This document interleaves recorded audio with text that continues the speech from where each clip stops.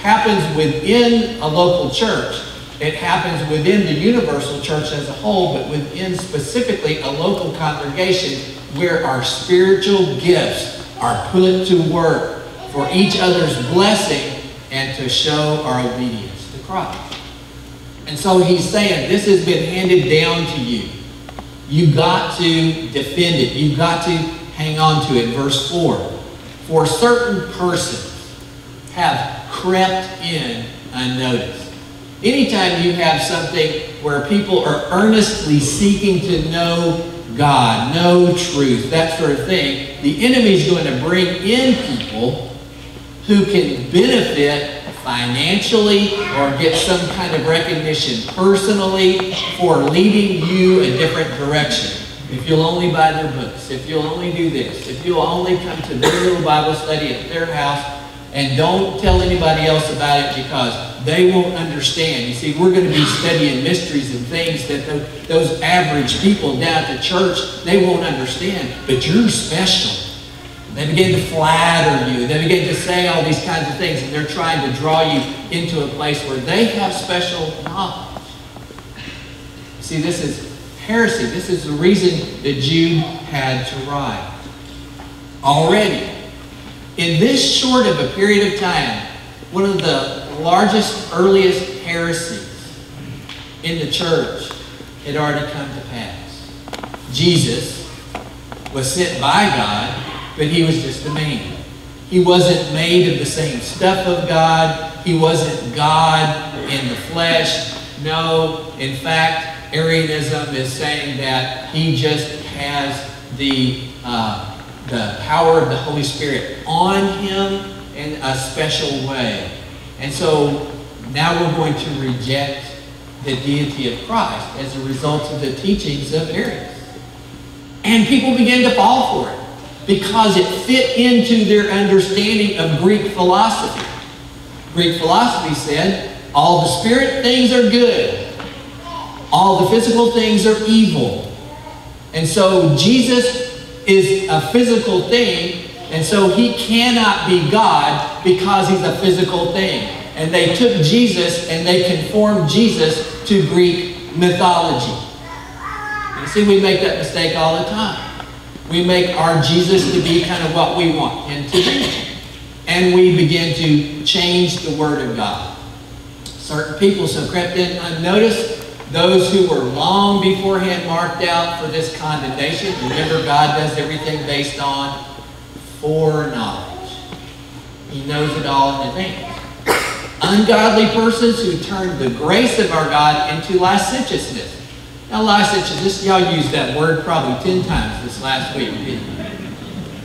That was the most licentious thing I think I have seen. No, you didn't use that word. Well, the idea is simply this.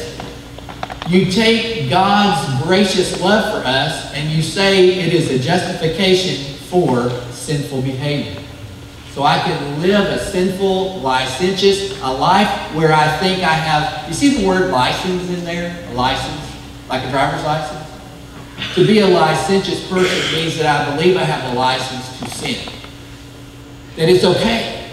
And that matches the Greek philosophy as well. The spirit's perfect, it can't be harmed in any way. The physical is evil, you can't do anything about it. And so up comes a group of people called the Gnostics. They have a special knowledge. It's connected to their Greek mysticism.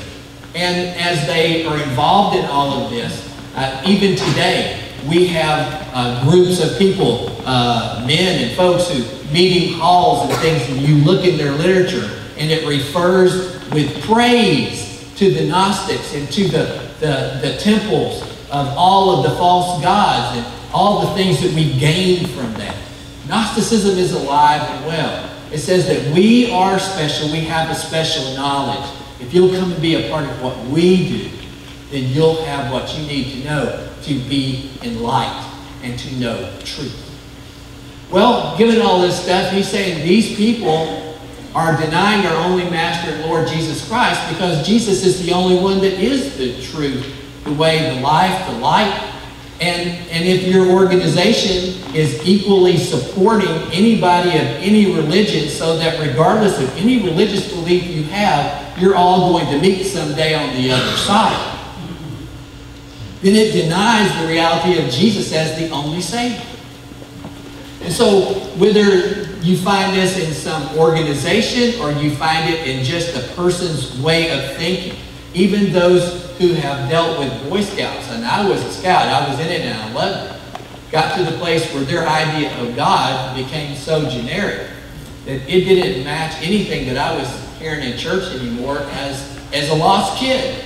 Yeah, I did pay attention a little bit. And so you have to be careful what that you're hearing and how you're being presented God. Notice, if you would, in 2 Peter 2, we're jumping over there for just a second. Peter says, false prophets also arose among the people, just as there will also be false teachers among you. So here's Peter saying, look out. And here is Jude saying, they're here. If you look in uh, Jude chapter 5, sorry, chapter 5, verse 5. Now I desire to remind you, Peter does the same thing. I want to remind you of the faith. I want to remind you. I want to remind you. How many of us need to be reminded? You raise your hand. I need to be reminded of truth. I, yeah, I need to be reminded. I desire to remind you, though you know all things once for all. You got a Bible, you're learning it, you know the truth.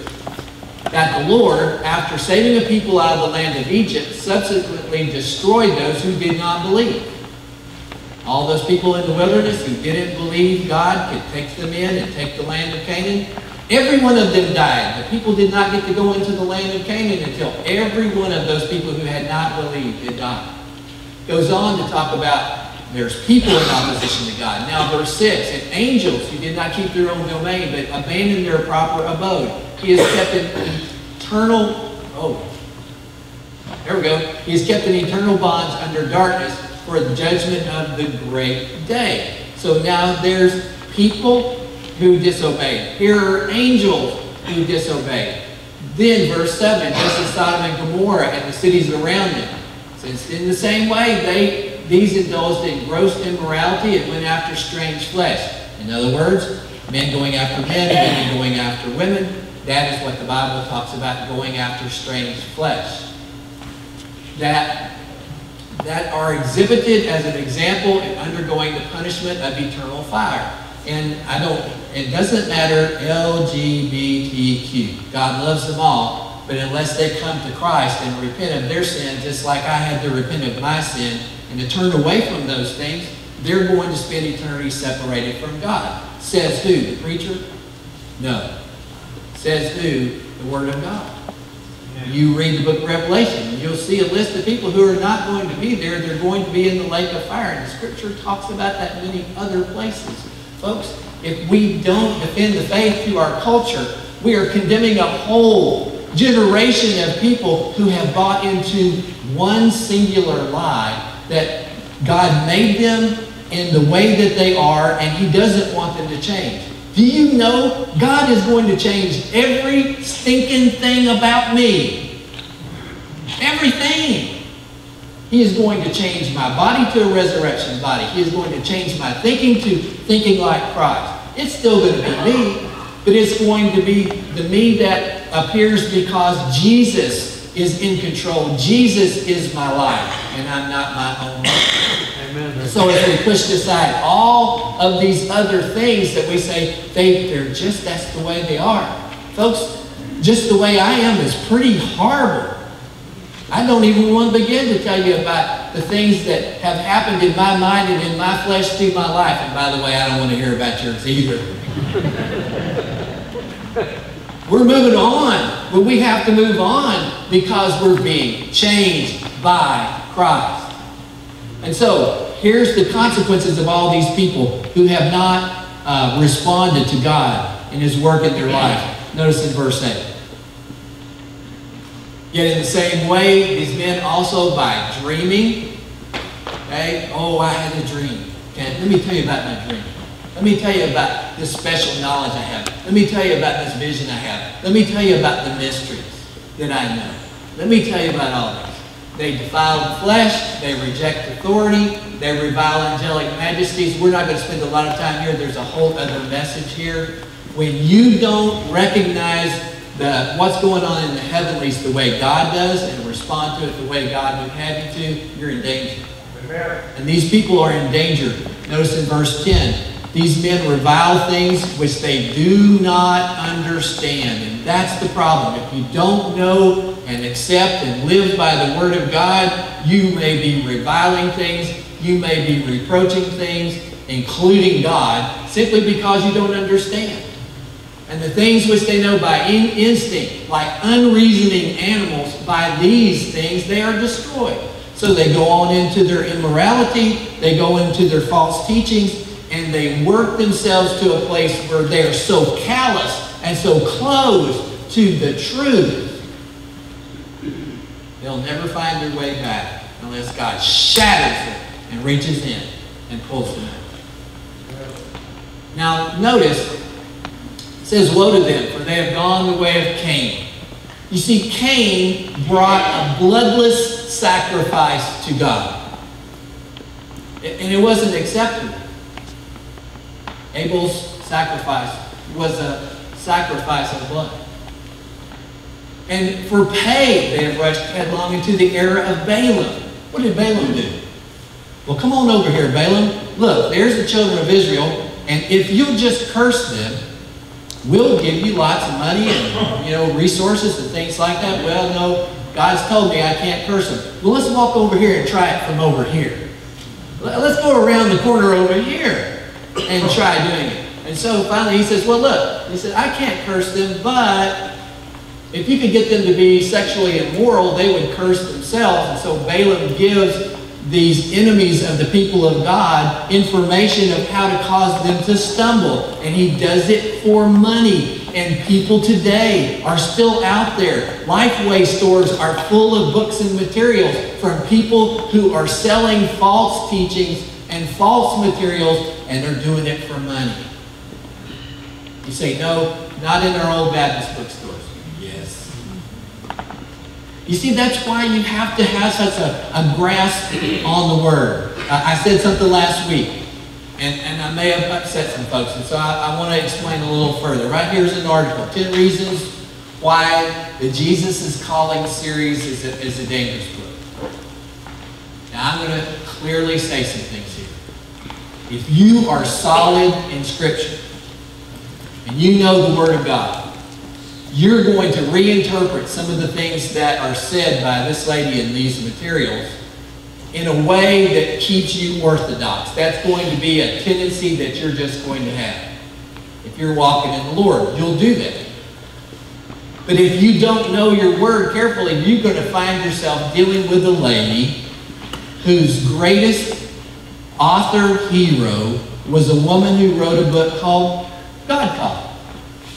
And in God Calling, she's basically doing something where she is describing how occultists channel a spiritual being from somewhere out in the spirit world they can't see. I think we have just a little uh, Google thing we can throw up there, maybe just jump over to that real quick.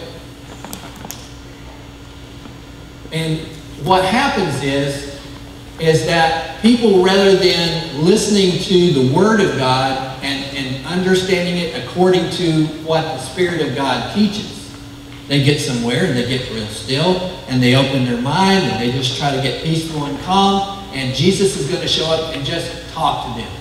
Now, if you Google channeling Jesus, what you're going to find is person after person after person, most of them women, who are saying that they get still and they get quiet, and Jesus tells them things to tell other people. Folks, that's heresy. That is heresy. Channeling is something that is a part of psychics and mediums and all that sort of thing. And so, as you, uh, let me just read for example here uh, a comment that was given on this article. This person says, I'm glad to see this book is being called into question. I know some people get quite up in arms at the thought of it even being questioned, but I'd like to give my story as background. Please keep in mind that I'm not commenting on the writer's character. Also, I'm not a cessationist, which means this person doesn't believe that the gifts of the Holy Spirit have ended. I believe that the gifts of the Holy Spirit are alive and well and active today. I started following Jesus two years ago. You hear the spiritual immaturity, doesn't know a lot yet maybe about their faith. Along with the Bible, two books I was given were God Calling and Jesus Calling. Being a new Christian, I didn't have the biblical knowledge to spot the heresies in God calling, and thus I didn't find it odd that Jesus calling used God calling as its inspiration. I would wake up each morning and do exactly as Young did, sit and listen. And lo and behold, I began hearing a small voice being introduced uh, itself as Jesus and spoke exactly the way Young's Jesus did. Before long, I was spending hours a day with this Jesus. It explained Bible verses. I could feel it as a presence, just as Young claims to, and like Young's experiences. I'd often feel this blissful feeling like Young. Sometimes I just sit and feel this feeling instead of listening. I also started having dreams and was even told about events that would happen in the future. Nothing this Jesus ever said ever did directly contradict the Bible. In fact, most of it was said was true. Even a man was even healed with me praying to this Jesus. Over time, however, I began to notice things that didn't line up. For example, Young's Jesus was way too flattering to be the Christ of the Bible. Jesus was also placing his presence above the Word of God. And lastly, this Jesus was acting in the role of the Holy Spirit, which didn't line up with Christ's own description of uh, his and the Holy Spirit's roles. As time went on, the messages became confusing. Like Young, I found myself going back and changing things in my journal. This article shows many things that have been changed from book to book to book, where she said Jesus told her this. The next edition, Jesus had changed to it.